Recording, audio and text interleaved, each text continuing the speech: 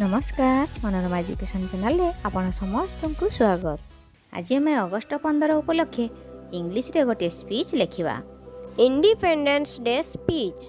Today is an essential day of the year of our country because it marks the completion of 176 years of independence.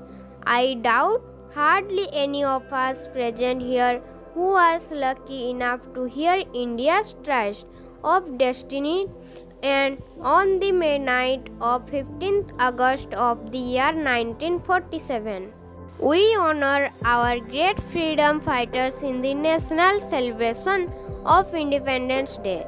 This day teaches us the importance of patriotism and strengths our in- unity. Irrespective of any differences, we remember all the struggles and sacrifice which our ancestors did for the country India.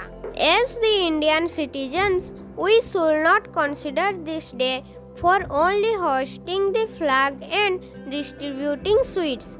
The Independence Day of India should not be taken for granted, as people often forget the true meaning behind the celebration. India's economic, social, and political developments are so casted on a global basis when people come to know about Independence Day. The hoisting of the flag in every house is popular on the day of independence. Even though Independence Day is observed as a national holiday, but it is expected of students and employees, irrespective of government or private sector, to attend the flag hoisting ceremony held on the grounds or rooftop. Thank you. Jai Hind.